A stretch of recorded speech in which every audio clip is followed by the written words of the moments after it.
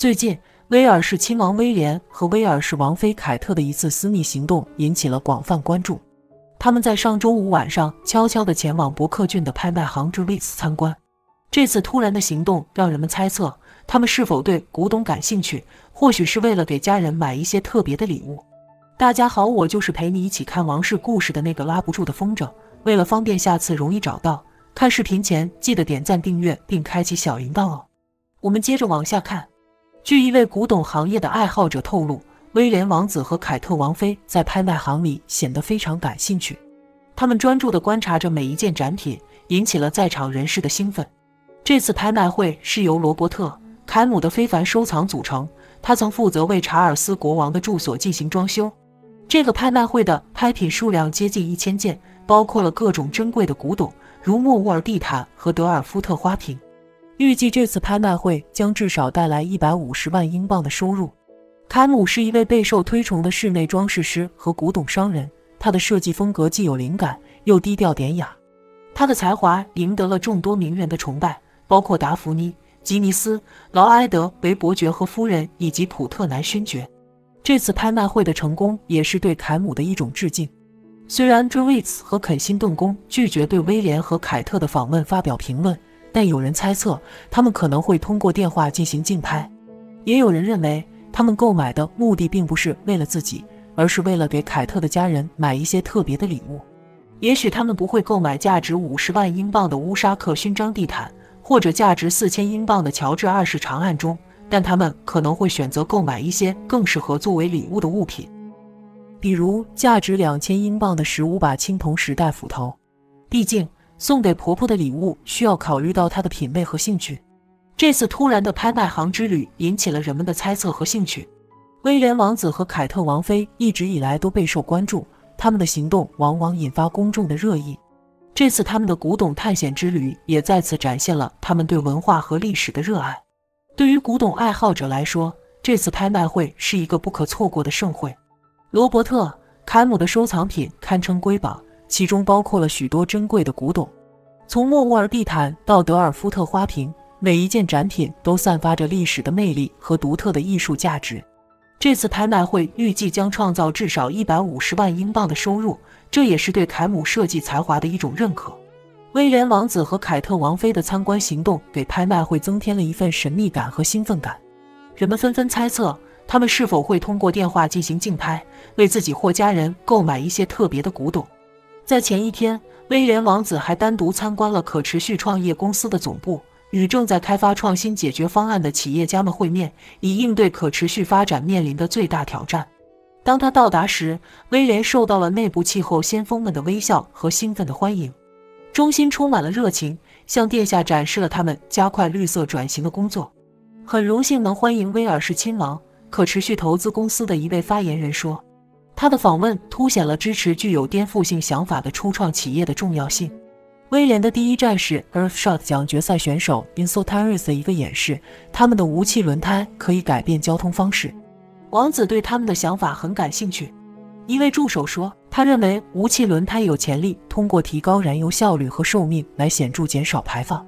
Insultaris 首席执行官西蒙·埃文斯对如此致力于倡导环境解决方案的人的兴趣感到兴奋。王子还参加了即兴的头脑风暴会议和产品演示，房间里充满了电。Diversity VC 的创始人塔什马·哈米德回忆说：“他介绍了自己基金的使命，有王室成员亲自投资支持代表性不足的气候企业家，这太令人鼓舞了。”当中心的社区聚集在中庭时，威廉赞扬了他们以所需的速度和规模进行创新的不懈努力。他专注地听着创业公司的创始人分享他们的巨大影响力的梦想，尽管他们面临着潜在的系统性挑战。但威廉提醒所有人团结起来，这个生态系统可以在全球范围内提供解决方案。看到他的信心，创始人眼中闪烁着希望的光芒。在离开之前，威廉王子沉思着说：“在严峻的气候头条新闻中，像这样的地方让我对人类应对任务充满信心。”作为可持续发展未来的风向标，可持续创业公司以其证明合作和基层行动可以推动我们所需的变革的成果而自豪。有了高层的支持者，未来变得更加光明。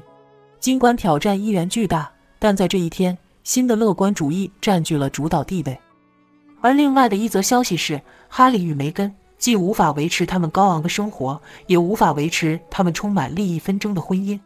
哈利一向无脑，梅根从来不明白如何参与创造双赢的项目，让大家都受益。而凡事动不动撕破脸，导致一切无法挽回，一如他们被上流社会排斥，被贝克汉姆夫妇、乔治、克鲁尼夫妇等断交，他们闯荡好莱坞失败，所有的制作公司几乎一致的选择抛弃他们。当哈里王子在北美被高呼为乞丐王子时，已经暗示他所有的好日子已经到头了，异国他乡的日子不好过。与王子也一样，作为王子离开王室再就业，完全没有他想象的那么好。但是梅根依然不懈地抓住任何一次机会，能够掀起曝光和讨论的流量。比如，他指责维多利亚·贝克汉姆泄露他美容的秘密。几乎所有的黑人美容都是为了变白，这算是什么秘密？但是高调登上媒体的撕扯。让人厌烦，终于求锤得锤的引起一系列负面反应。得了，雷根又可以用几个小时的时间浏览社交媒体，看看众人对自己的负面评价了。梅根总是擅长在小细节上打算盘，毕竟他们基本上被洛杉矶上流社交圈抛弃，这不难理解。谁也怕被所谓的朋友出卖隐私。据说哈里王子想去非洲住一段时间，这就意味着他们夫妻面临分居的可能性。毕竟非洲啊。梅根这种过惯了奢华生活的人，怎么承受得住非洲的原始与荒凉？极简的生活是哈里王子想要的，但绝对不是梅根想要的。维持与梅根的婚姻，或者结束与梅根的婚姻，对于哈里王子来讲同样困难。哈里王子是一个脆弱的人，他无法面对婚姻的失败和接下来的生活。哈里王子与梅根本质上来讲，终究不是一类人，人生的追求方向也截然不同。继续下去也是哈里王子无法忍耐的。此外，根据一位知情人士爆料，梅根的二叔兼老主顾安德鲁已经和查尔斯三世达成了共识，他不会被国王哥哥赶出家门了。虽然谁也不知道这协议是怎么达成的，反正远在米利国的哥儿姐总算松了口气。毕竟前一阵子被逼急了的老安曾经表示，如果大哥逼得小弟无路可走，就打算写本书回忆一下我的一生。而鬼才知道。二叔的一生里有没有我们公爵夫人的影子？反正谁光着膀子给二叔擦过防晒油，地球人都知道。而且也大家也都很好奇，擦完油之后，这对忘年交去哪读剧本去了？而以现在的光景来看，这本书肯定近期是不会写了。其实倒觉得哥姐没必要认为和二叔的这一段过往是自己的人生黑点。凭什么男人说起自己的风流韵事来就可以得意洋洋，口泛白沫儿？而作为女性，就应该心怀愧疚，低人一等。公爵夫人不是一向主张男女平等、女性赋权吗？大可以主动曝光一下自己的旧城往事，让那些臭男人知道，这个世界并不是只有渣男才喜欢集邮，女人一样也可以当海王。对于哥姐来说，对旧爱如数家珍，也是一种成功的回忆。如果没有那些厨子啊、导演了，没有那些游艇经历。我们公爵夫人就凭她那三脚猫的功夫，也许现在还在天天跑片场试镜头，为了一碗沙拉而努力奋斗呢。所谓因此不问出处，不管怎么样，梅根现在算是成功跨越阶层的成功人士了。按照梅粉的话来说，就是整天酸我们夫人也没用，人家比你们过得强多了。